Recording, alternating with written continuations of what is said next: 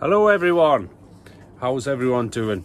Um, I just thought I'd do uh, an update as to what's happening in the home garden and uh, give you a quick tour of what I've been doing over the uh, lockdown period. Hope everyone's keeping fit and well. Uh, I've been quite busy here, just pottering on in the garden. Ideal time should have been um, do some videos and stuff, but I've never really had the opportunity. Obviously, the kids and stuff have been here with us, and uh, we've just been busy really. Uh, so what I'll do is I'll give you a quick guided tour of how everything's moving along in the home garden. So we have a glut of uh, sweet million tomatoes, absolutely glorious. Um, the little Harvey had uh, sowed all these seeds and he's just been picking picking for days. Uh, we've been cropping these since about, I would say, early June. So you can see the leaves at the bottom are starting to starting to die off now. Um, but they're still putting on new growth at the top there. I've still been keeping on top of the watering. As far as the um, the air pots are concerned, they're doing a cracking job for growing tomatoes. And leeks, well, obviously there's not many shows going to be happening this year. Um, zoom out a little bit. There's not many shows going to be happening this year, but the leeks are still doing okay. Can't really complain. Got a bit of a burn off someone on the on one of the leeks there, but um, yeah, be fine. They're sitting around 16 inches now, 16 inches in uh, circumference. So they're looking canny. Um, what have we got? We have got chili plants. I've just watered them. It's been a, a, very hot day of the day again, and they are looking canny. A bit deficiency in uh, in a couple of them. I've just started putting some uh, Mills feed in them. So these are all in uh, Mills Ultimate Soil, and well, they're doing canny. Can't really complain for such a small pot. They're in a, um, a three litre pot. We've got a we've got bell peppers on. We've got uh, purple jalapenos there. And uh, I'll try and find some reapers. I'm sure we've got some reapers in here. Uh, what's this one? This is poblano. And these are, well, these are the reapers here. They're just starting to form. Very difficult to see. We can see the shape of them there. Evil looking things. So that's in the Keder. Um, outside. So I planted some um, what what potatoes did I plant again? I think there were oh bloody heck, I've just took them out of the pots there. I can't think off the top of my head. Charlotte, I think, in Warsaw planted some Maris Piper. Um cracking crop. I should have done a video really, but um totally forgot about the camera. Um as I say, I've had the kids with us uh basically the whole of the lockdown. Um Harvey's been helping us out quite a bit, so yeah. So this bed here we've got um, the dahlias in. Well, for the for five five beds, I've got dahlias in. Um, there was put in like not all at the same time. Uh, I put a couple in each each week, um, but they're looking canny. Well, the majority of them are looking canny. See the difference with the ones that that I lined this bed with uh, Mills Ultimate Soil. Um, the soil that I've well, I've, I've just utilised what what was here um, basically, it was inert. It's never any feeding. Um, so I just whacked them in because I've just put all these raised beds in over the last, I would say the last eight weeks or so. Um, and I've opted for railway sleepers as opposed to um, scaffold battens, which I used in the allotment. Only really got three years out of the scaffold buttons. Um, so I went for the, the sleepers and hopefully I get about 10, 15 year out of them. So um, so yeah, the soil that I, that was in here, it never ever been grown. And I wouldn't have thought, not in the last 50 year or whatever. So I didn't really have time to put manure or anything else in. So I just stuck whatever I could in and uh, see what will grow, basically. Um, but what I'll do this winter is I'll I'll probably put like a late feed on them with a blood fishing bone, and then I'll um I'll put it uh, like manure them.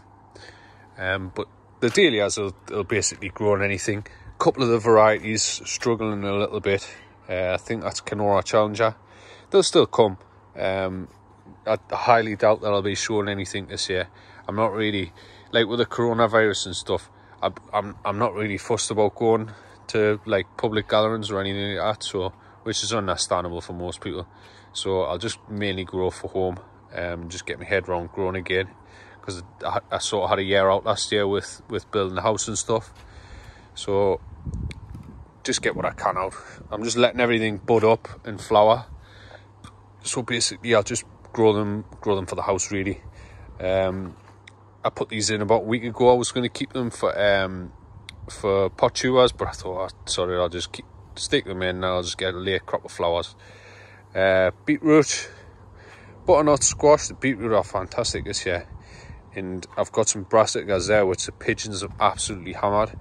Um, not like me, I didn't have a chance to cover them in time, and within three days they were just about eradicated, and you can see how poor the soil is.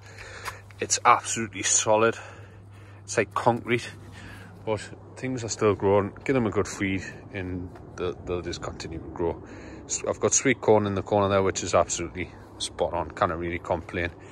Um, greenhouses wise uh, I've cleaned all this out today um, nothing really uh, nothing at all growing here actually I've just got that light uh, for the giants in the in the winter I'll, I'll do a little uh, review of that at the end of this video just show you how how that's going um, just put the paving stones down in the the polytunnel um, we have got uh, Shirley tomatoes on the right there. They're in an auto pot system. Uh, these are the long leeks which we're going to be growing for Malvern, but they're not really. I'll not be going to Malvern this year, so just having a crack at them anyway, just for a bit of fun. And we have got a giant pumpkin plant, just for comparison. That's behind there. Um, we've got a pumpkin set on it a bit late, but it's just really for the kids and stuff to have a crack at growing. I'm trying to find one. Uh, can't find anyway. But uh, there's definitely a couple of pumpkins starting to grow on there. They'll just be for fun anyway, so yeah, that's it really.